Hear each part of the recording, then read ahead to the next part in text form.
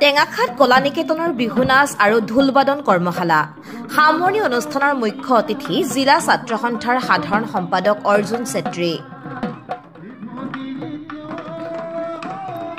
গীত নৃত্য তথা অসমীয়া থলুৱা কৃষ্টি সংস্কৃতিৰ চৰ্চাৰ অন্যতম অনুষ্ঠান হ'ল টেঙাখাত কলা নিকেতন।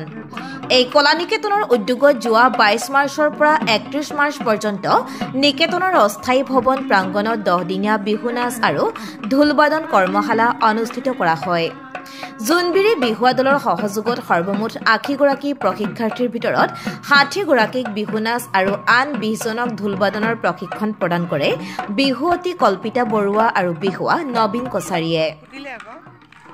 দেওবাৰে সামৰণি অনুষ্ঠানত অভিভাৱক তথা স্থানীয় বহুকেইগৰাকী গণ্যমান্য ব্যক্তিৰ লগতে মুখ্য অতিথি হিচাপে ডিব্ৰুগড় জিলা ছাত্ৰ সন্থাৰ সাধাৰণ সম্পাদক অৰ্জুন চেত্ৰী উপস্থিত থাকি উঠি অহা নৱপ্ৰজন্মৰ ছাত্ৰ ছাত্ৰীসকলৰ মাজত প্ৰতি বছৰে এনেধৰণৰ কৰ্মশালা অনুষ্ঠিত কৰি অসমীয়া কৃষ্টি সংস্কৃতিৰ বিকাশ সাধনৰ চেষ্টা অব্যাহত ৰখাৰ বাবে কলা নিকেতনৰ শলাগ লয়।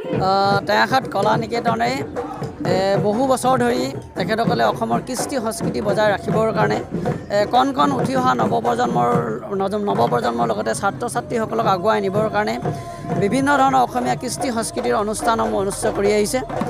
বিগত বৰ্ষৰ বৰ্ষৰ দৰে এইবাৰো টেঙাখাত কলা নিকেতনে বহাগৰ আগমনৰ প্ৰাকক্ষণত দহদিনীয়াকৈ ঢোল বাদন আৰু বিহু নাচ কৰ্মশালা আয়োজন কৰি ছাত্ৰ ছাত্ৰীসকলৰ নিজৰ এই বিহুৰ কৃষ্টি সংস্কৃতি বিহু নাচ ঢোল বাদন ইত্যাদিৰ প্ৰশিক্ষণ প্ৰদান কৰি যি অসমত এটা নিদৰ্শন দাঙি ধৰিছে।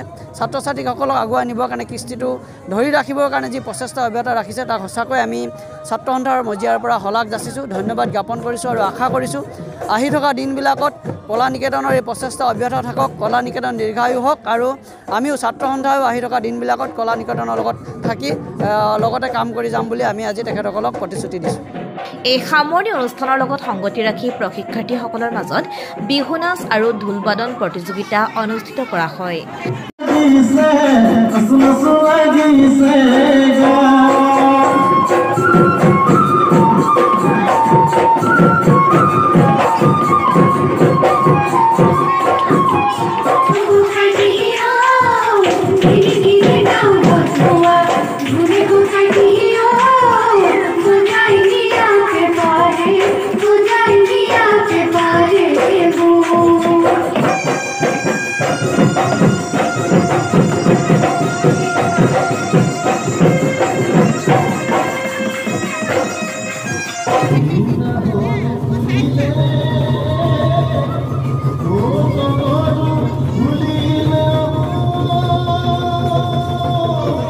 Oh.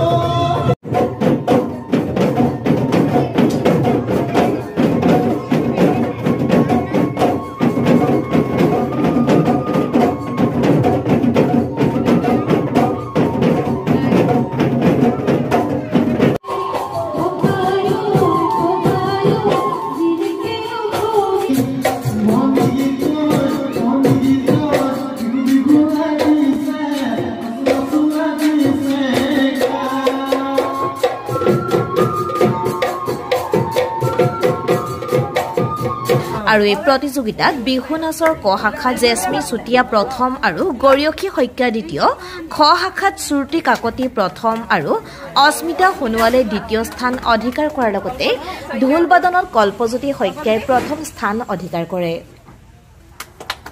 কলা নিকেতনৰ উদ্যোগত যি দহদিনীয়া প্ৰশিক্ষণ ঢোল বাদন আৰু বিহু নাচৰ কৰ্মশালা হৈছিলে আৰু সেই কৰ্মশালাত আমি দহদিন যিসকলে এই কৰ্মশালাটো অংশগ্ৰহণ কৰিছিলে তেওঁলোকৰ মাজত এটি সৰুকৈ প্ৰতিযোগিতা ৰখা হৈছিলে। এই প্ৰতিযোগিতাখনি আচলতে কোনো তেনেকুৱা বিশেষ বুলি ক'ব নোৱাৰি।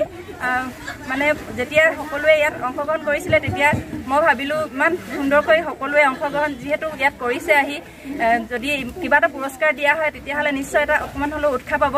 সেইবাবে মই মোৰ এখনি শিশু আৰু মহিলাৰ উদ্যোগ প্ৰতিষ্ঠা চৰি এখন দোকান আছে। তাৰ তাৰ অঞ্জলা হাউচৰ তৰফৰ ফালৰ পৰা মই সৰুকৈ মোৰ সামৰ্থ্য অনুসাৰে মই পুৰস্কাৰ দিম বুলি ভাবিলোঁ আৰু সেই সেইবাবে আজি প্ৰতিযোগিতাখনি ৰখা হৈছিলে।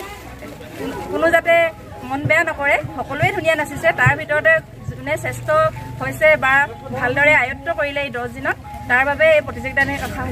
শেষত কলা নিকেতনৰ তৰফৰ পৰা প্ৰশিক্ষাৰ্থীসকলক একোখনকৈ মানপত্ৰ প্ৰদান কৰাৰ লগতে প্ৰতিযোগিতাত বিজয়ীসকলক টেঙাখাটৰ অন্যতম শিশু আৰু মহিলাৰ সাজপাৰৰ বিপণী এঞ্জেলা ড্ৰেছ হাউচৰ স্বত্বাধিকাৰী এঞ্জেলা শইকীয়াৰ তৰফৰ পৰা আগবঢ়োৱা একোটাকৈ পুৰস্কাৰ প্ৰদান কৰা হয়।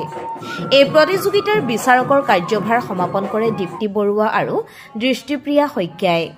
শেষত কলা নিকেতনৰ সম্পাদক সুভাষ চুতীয়াই কৰ্মশালাখনিৰ সন্দৰ্ভত এনেদৰে কয়।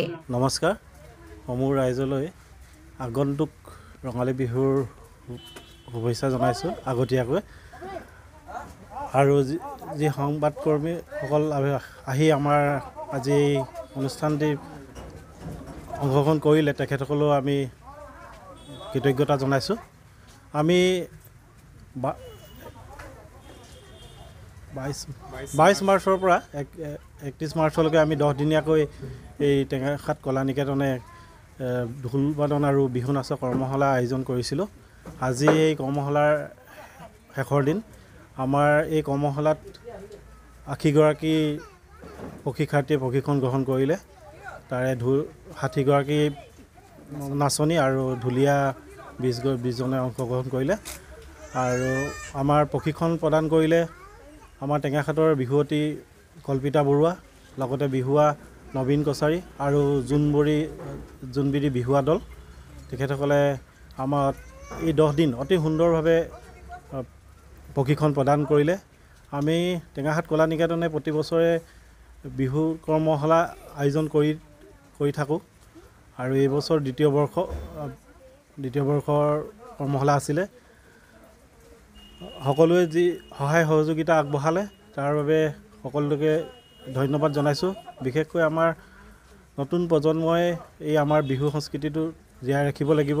তেখেতে তেওঁলোকেই আমাৰ সংস্কৃতি বাহক।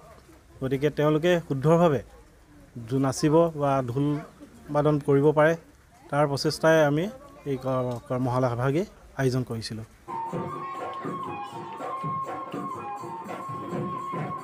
নৱকুমাৰ গগৈ আৰু ৰূপম গগৈ ৰিপৰ্ট টেঙাখাট লাইভ।